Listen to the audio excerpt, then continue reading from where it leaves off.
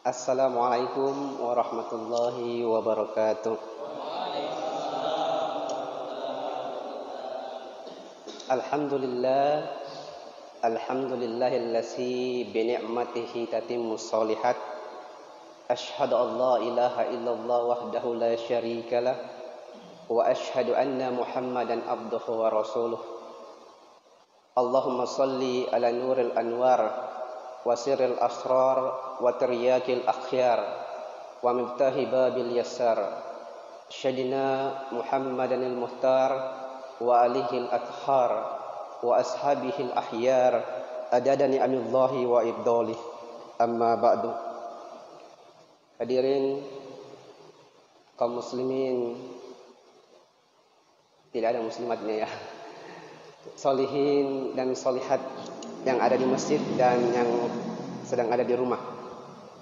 Pertama dan yang paling utama harus menjadi prioritas utama dalam hidup kita adalah senantiasa memuji syukur kehadirat Allah Subhanahu wa taala karena atas rahmat, hidayah, taufik dan inayah Allah kita bisa bersua kembali di tempat yang insyaallah diberkahi oleh Allah Subhanahu wa taala.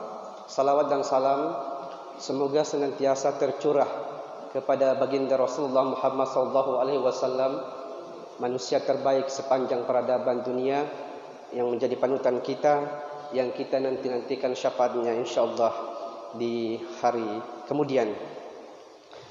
Jamaah yang saya hormati mengawali materi saya tentang arogansi, kesombongan.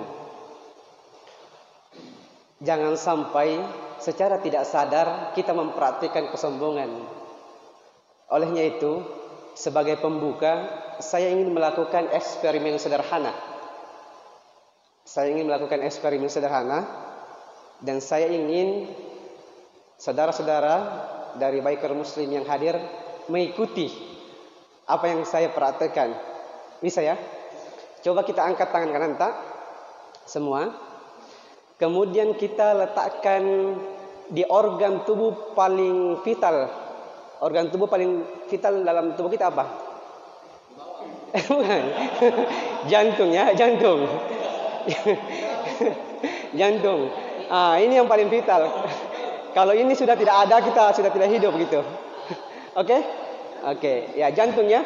Jantung kanan atau kiri? Sebelah kanan atau kiri? Kiri ya? Kiri. Coba angkat tangannya seperti ini. Letakkan di sebelah kiri di jantung di Coba tenang sejenak.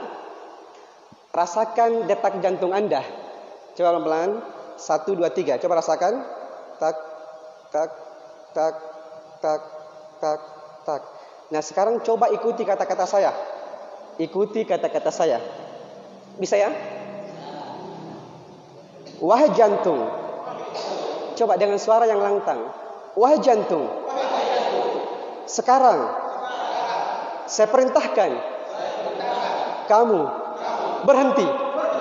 Berhenti. Berhenti. Ada yang berhenti?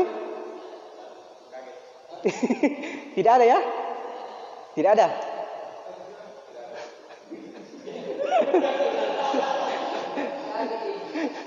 Walaupun saya juga takut, Pak.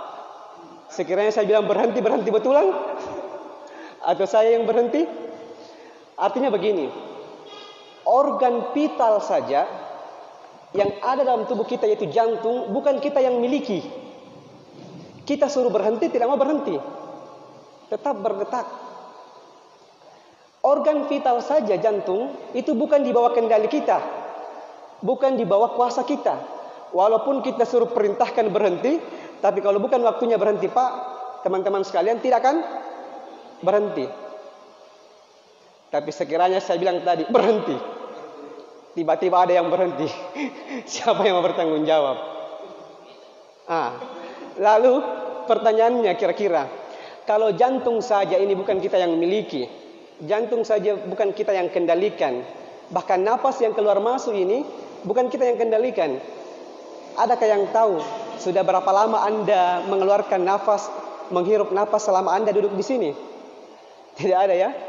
Nah, artinya semua yang kita miliki, organ paling penting saja ini bukan milik kita. Itu hanya titipan. Lalu mengapa kita harus sombong? Kalau pada dasarnya kita tidak punya apa-apa. Nah ini sebagai pembuka. Kemudian berbicara mengenai arogansi, paling tidak ada tiga jenis arogansi yang ingin saya sampaikan pada kesempatan yang singkat ini sebagai renungan bersama. Tadi saya kemukakan di awal, jangan sampai kita secara tidak sengaja mempraktekannya di luar apa ya kesengajaan kita. Yang pertama,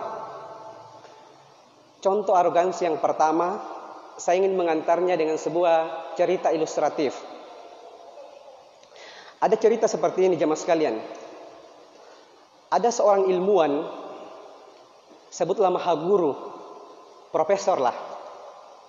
Ini profesor karena saking lamanya stay at home, tinggal di rumah begitu, dia ingin bertamasya untuk membuat dirinya lebih nyaman karena sudah lama dia suntuk tinggal di rumah.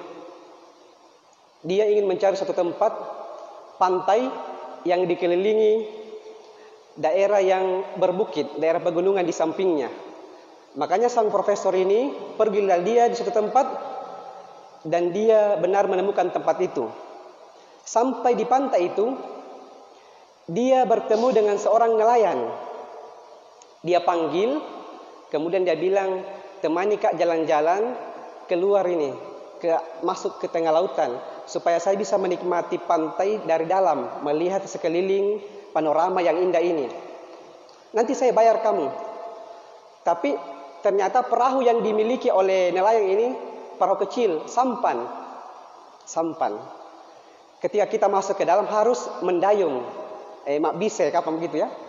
Nah, setelah harga diputuskan, naiklah sang profesor ke atas kapal itu, sampan itu, masuk ke tengah lautan. Setelah sekian lama berkeliling di lautan lepas, bertanyalah sang profesor ini, maha guru ini, mulai mengangkat cerita. Wahai nelayan, dari tadi ini saya perhatikan kamu diam saja. Tak ada satu kata pun yang keluar dari mulutmu. Kalau begitu, saya ingin bertanya, nelayan, kata maha guru ini. Dia bilang, apa pertanyaan tabuang? Satu. Pernahkah kamu belajar filsafat? Kata maha guru ini, profesor ini. Supaya hidupmu lebih bijak. Kamu lebih bijaksana. Kamu harus belajar filsafat. Pernahkah kamu belajar filsafat, wahai nelayan? Kata nelayan itu, tidak pernah, Bang. Jangankan filsafat, pelajaran yang lain. Saya ini tidak tamat SD. Kalau begitu, kata Maha Guru ini, kalau kamu tidak pernah belajar filsafat, itu artinya kamu kehilangan seperempat peluang hidupmu. Kamu kehilangan 25% dari 100 peluang hidupmu. Karena kamu tidak menguasai filsafat. Nelayan itu hanya mengangguk. Pertanyaan kedua, kata sang profesor, wahai nelayan, pernahkah kamu belajar fisika, belajar astronomi, belajar perbintangan? Kenapa? Supaya kamu tahu bagaimana perputaran angin, yang mana tempat-tempat yang maksimal banyak ikan di sana. Pernahkah kamu belajar fisika itu? Pernahkah kamu belajar astronomi itu? Kata maha guru sang profesor ini. Kata nelayan, tidak juga puang. Tidak juga. Berkata lagi sang profesor, kalau begitu, kamu sudah kehilangan dua per empat peluang hidupmu. Atau sudah kehilangan 50 persen peluang hidupmu karena kamu tidak menguasai fisika, astronomi. Pertanyaan ketiga, kata profesor ini, wahai nelayan, Pernahkah kamu belajar bahasa Inggris? Have you learned English, Arabic, Japanese, Mandarin, dan sebagainya? Dia bilang, tidak pernah. Jangankan bahasa asing, bahasa Indonesia saja saya sukar, sulit.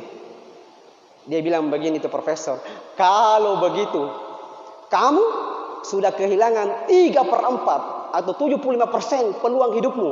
Peluang suksesmu sudah hilang karena kamu tidak menguasai filsafat, tidak menguasai fisika, dan tidak menguasai bahasa asing atau bahasa Inggris. Tiba-tiba Bapak, teman-teman baik res muslim yang saya hormati, setelah lama nelayan ini mengangguk-ngangguk tidak ada jawaban, tiba-tiba ada angin yang bertiup dari tengah lautan yang membuat sampan yang didaiki itu bergoyang, bergoyang.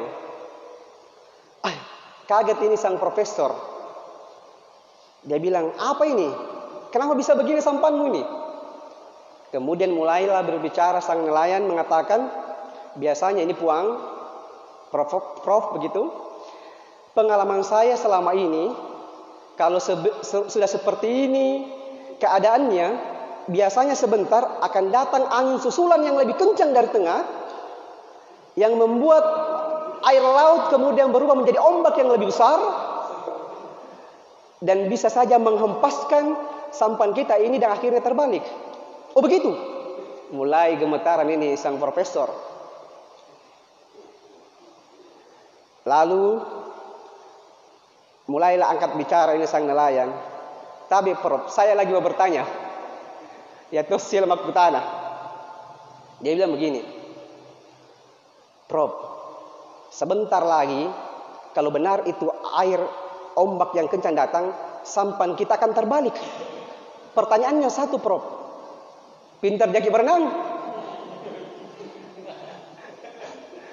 Pintar jaki berenang? Gemetaran. Nah bilang tidak. Saya tidak pintar berenang. Kalau begitu, kata sang nelayan, kalau Anda tidak bisa berenang, Prof, maka Anda akan kehilangan seluruh 100% peluang hidup Anda. kan Anda tidak bisa berenang. Pertanyaannya, pintar semua jaga berenang? Kakak beri pintar berenang? iya. iya. Saya sendiri, saya sendiri jujur tidak bisa berenang. Jadi saya ketawa diri saya sendiri ketika membaca kisah ini. Artinya apa? Secara tidak sadar sang maha guru mempertontonkan yang namanya kesombongan atau arogansi intelektual. Ini yang pertama. Arogansi intelektual, menganggap dirinya yang paling berilmu, menguasai filsafat, fisika, matematika, bahasa asing dan sebagainya, komputer dan sebagainya. Merasa dirinya yang paling berpendidikan. Apa tong kau? Tamatang SD jago. SMP jago. SMA. Pesantren kilat. S1 jago. Saya S2. S2 jago, saya S3. S3 mu dalam negeri, saya luar negeri, Pak. Ada kesombongan intelektual yang dimunculkan boleh jadi tanpa sadar kita pertontonkan itu. Bahkan di dunia akademik kadangkala kita mendengar mahasiswa berkata begini, sudah berapa banyak buku yang kau baca? Ketika kita berdiskusi, sudah berapa banyak kitab yang kamu baca? Kemudian kamu berani bicara di depan dan sebagainya. Ini namanya kesombongan intelektual. Semoga tidak ada di antara kita ini. Bolehlah kita tinggi sekolah kita, tapi tetap tawadu. Bukankah semakin tinggi ilmu kita, semakin paham kita bahwa semakin banyak yang tidak kita ketahui. Imam Ash-Syafi'i sangat tawadu. Ketika dia mengetahui hal baru, ilmu baru, sekecil apa pun itu, dia pasti menangis. Menangis. Menangis itu Imam Syafi'i ketika mengetahui ilmu baru. Kenapa dia menangis? Dia sadar bahwa ternyata masih banyak ilmu yang saya tidak ketahui. Jadi ketika dia paham satu ilmu, ih, ternyata masih banyak ilmu-ilmu lain yang saya tidak ketahui. Ilmu apa saja? Lintas profesi, lintas studi dan sebagainya. Ternyata masih banyak ilmu yang belum kita pahami. Ibarat kalau kita celupkan tangan kita masuk ke dalam lautan atau samudera, jari kita misalnya, kemudian kita angkat, ada tetesan air yang tinggal, itulah ilmu kita. Samudera yang luas itu itulah ilmu Allah yang tidak kita ketahui. Lalu mengapa kita sombong? Kata Allah, "Wa ma utitum minal ilmi illa qalila."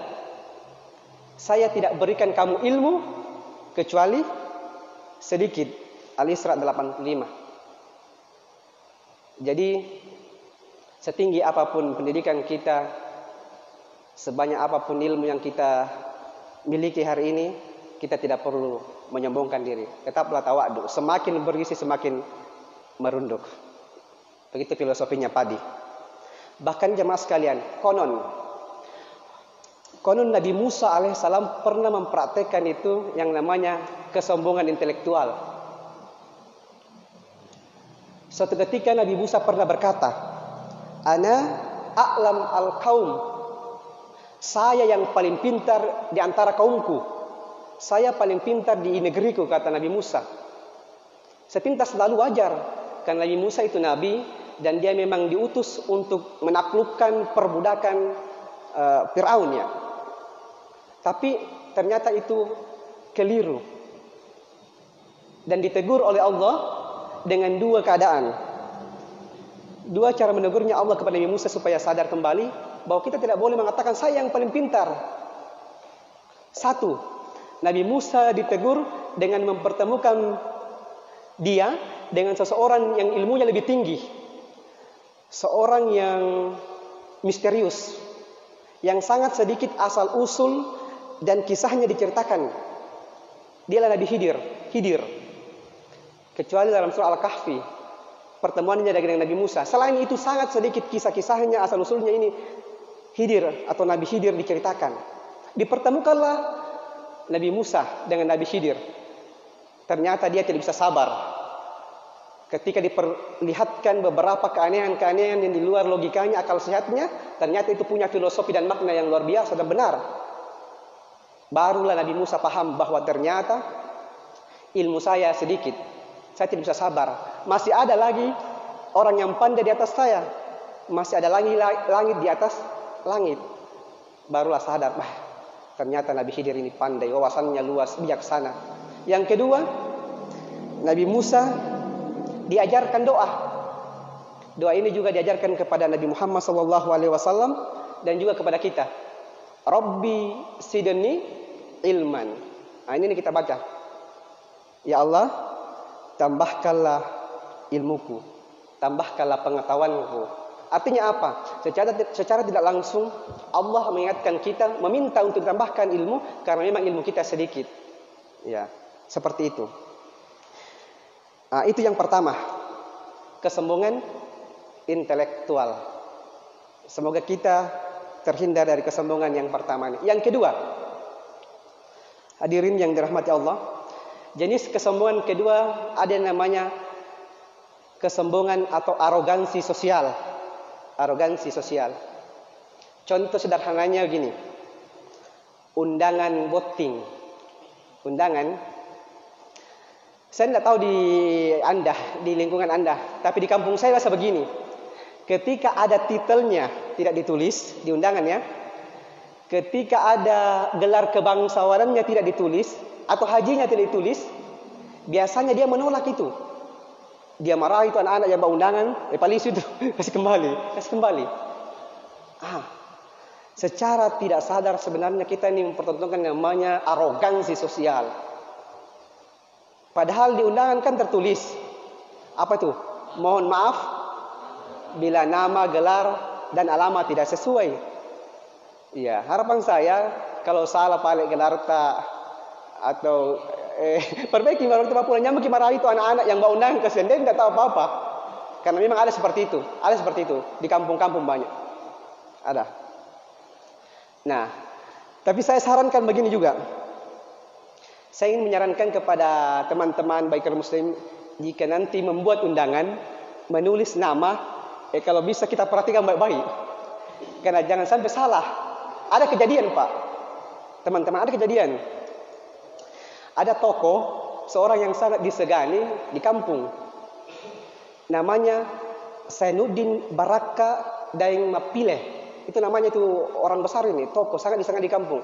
Sainuddin Baraka Daeng Mapile. Tapi karena salah tulis di undangan, namanya berubah. Berubah menjadi Sainuddin Marako Daeng Mapile. Ya, sudah Marako Mapile lagi. Marah dia. Ah, ini luar biasa kesalahannya ini karena namanya yang berubah. Iya. berubah warnanya. Berubah jadi Sainuddin Marako. Iya, iya. Jadi kita perlu hati-hati. Tapi intinya adalah kalau hanya persoalan titel yang kurang dari kebangsaan yang kurang kita lengkapi saja baru kita kirimkan kembali. Artinya mereka nanti paham. Nah, ini arogansi arogansi sosial yang secara tidak langsung dipraktekkan oleh kita.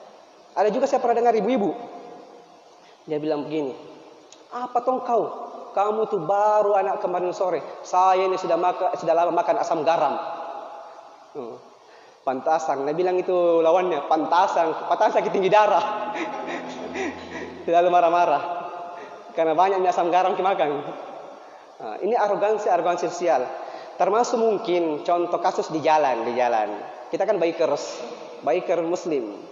Lampu merah, stoplah kalau kita melintas pada saat lampu merah ini arogansi nih, arogansi.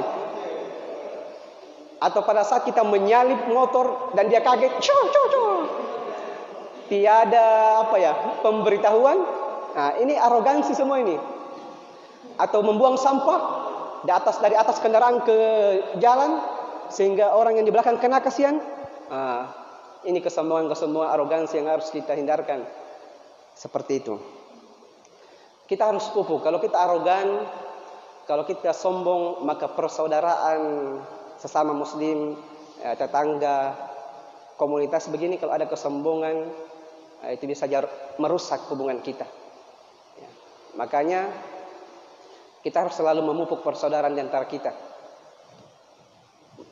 Belum ya? Selamat Haji. Iya. Imam Al-Ghazali pernah berwasiat bagaimana caranya supaya persaudaraan kita selalu erat di dalam komunitas, di dalam lingkungan kita. Ada ungkapannya yang menarik. Beliau bilang, kun kal yadaini wala takun kal usunaini. Pada saat Anda bergaul dengan sesama Anda, rekan Anda, maka bersifatlah seperti kedua tangan Anda. Jangan bersifat seperti kedua telinga Anda. Filosofinya adalah tangan ini selalu membantu. Pada saat cuci tangan, bagus gosok-gosok. Pada saat kita wudhu, saling membantu. Pada saat bersedekap, saling membantu. Tidak begini, begini atau begini. Saling membantu. Pada saat gatal satu, saling menggaruk. Artinya apa? Selalu hadir. Tidak ada kesombongan. Bahwa saya tangan kanan, selalu yang yang baik-baik. Makan tangan kanan. Pegang yang baik tangan kanan. Kiri kodong, yang kotor-kotor, tai dan sebagainya. Tapi kiri tidak pernah merasa dianiaya, kanan pun tidak merasa sombong. Itu mengapa hadiahnya kiri ini bagi seorang wanita kalau menikah biasanya dipasangi cincin. cincin di jari manisnya sebelah kiri, itulah hadiahnya kiri. Ya. Kemudian telinga bagaimana? Telinga ini kalau telinga kanan misalnya mendekati telinga kiri, telinga kiri cuek, semakin jauh. Ini juga mau dekat ke kanan, semakin jauh. Iya, artinya apa? Ada arogansi di sana. Telinga kiri selalu iri. Kalau telinga kanan dipasangi cincin berbentuk bintang, kiri juga mau berbentuk bintang. Nah mungkin di sini lain lain modelnya. Ya selalu iri. Nah kalau sudah kita uh, saling perhatian, saling membantu, tidak ada arogansi, maka insya Allah kehidupan bertetangga kita, kehidupan komunitas kita itu akan berjalan dengan baik sesuai dengan kaidah-kaidah Islam. Itu yang kedua, arogansi sosial. Kemudian yang ketiga, yang terakhir, yang juga sering terjadi di lingkungan kita, yaitu arogansi spiritual atau arogansi keberagamaan. Beragama merasa dirinya yang paling soleh, merasa dirinya yang paling baik solatnya, paling khusyuk solatnya, paling bagus bacaannya, merasa paling banyak ilmunya, ilmu agamanya, merasa golongannya misalnya yang paling benar dan sebagainya. Ini arogansi keberagamaan yang bisa mengikis amal-amal soleh kita. Nah, makanya kita perlu hati-hati dengan arogansi ini. Allah berfirman, "Wala tusair haddaka lin-nasi wala tamshi fil ardi maraha, innallaha la yuhibbu kulla mukhtalin fakhur." Luqman surah Luqman ayat 18. Ini tentang arogansi atau kesombongan. Janganlah kamu memalingkan mukamu dari manusia karena sombong dan janganlah kamu berjalan di muka bumi ini dengan congkak atau angkuh karena sesungguhnya Allah tidak menyukai orang-orang yang sombong lagi membanggakan diri. Sombong dengan pangkat jabatan sombong dengan ilmu sombong dengan status sosial tadi kebangsawanan dan sebagainya apalagi sombong dengan ibadah sombong dengan keberagamaan. Ini yang harus kita hindari. Ya karena kata Nabi juga tidak akan masuk surga orang yang sombong. Orang sombong itu orang yang menolak kebenaran dan meremehkan orang lain. Hadis riwayat Muslim. Menolak kebenaran. Ya, iblis menolak kebenaran ya, ketika disuruh sujud kepada Adam. Fir'aun menolak kebenaran Al-Quran sunnah yang dibawa oleh Nabi Musa alaihissalam dan orang-orang yang angku, orang-orang yang sombong ini susah masuk hidayah. Susah masuk rahmat, petunjuk. Kenapa? Karena ada kesombongan. Nah, bukan kayak iblis laknatullah diusir atau keluar dari surga itu karena kesombongannya dan kekal di neraka. Nah, semoga kita semua yang hadir ini uh, bisa menyadari jangan sampai kita mempraktekkan secara tidak sengaja kesombongan kesombongan yang tadi yang saya katakan ini kesombongan intelektual kesombongan emosional dan kesombongan spiritual mari kita saling menguatkan dan mengokohkan nah untuk orang yang berilmu ada perenungan buat kita semua bahwa ilmu yang kita miliki itu seharusnya semakin mendekatkan kita kepada Allah Subhanahu wa taala dan semakin membuat kita takut kepada Allah Subhanahu wa taala.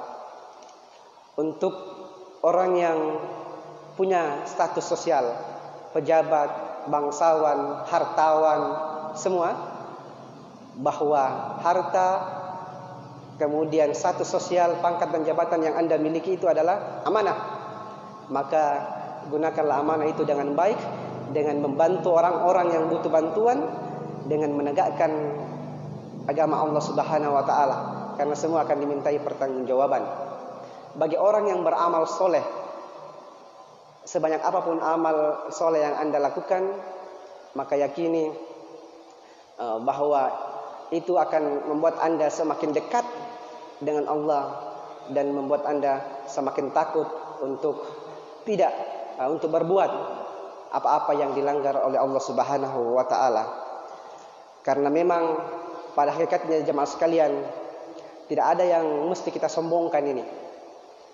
Tidak ada. Tadi di awal kita sudah eksperimen, jantung tidak kita miliki. Itu bisa saja diambil. Tangan kita saja ini saat ini masih sempurna. Fungsinya bisa saja diambil kapanpun Allah mau. Kaki kita, mata kita, semua. Dan mungkin sekarang karena seiring dengan usia fungsi-fungsinya sudah mulai menurun. Dan bagaimana jika sekiranya nafas kita, nyawa kita dicabut oleh Allah Subhanahu wa taala namun kita uh, belum bertaubat kepada Allah Subhanahu wa taala atas segala dosa-dosa yang pernah uh, kita lakukan. Harta, ilmu, pangkat dan jabatan itu adalah titipan, maka gunakanlah titipan itu dengan baik sebelum diambil oleh Allah Subhanahu wa taala. Saya kira ini saja yang bisa saya sampaikan. Insyaallah di lain kesempatan kita bisa uh, sambung kembali ya karena tadi tadi tadi pagi saya dihubungi. Saya ada urusan ini cuma karena Pak Kiai yang panggil saya harus datang. Ya, dan terima kasih telah diterima uh, untuk belajar di sini. Ada Pak Haji Syukur dan semua guru-guru, ada Ustaz Lewi dan semua yang tidak bisa saya sebutkan, ada Kakak Beri. Ya.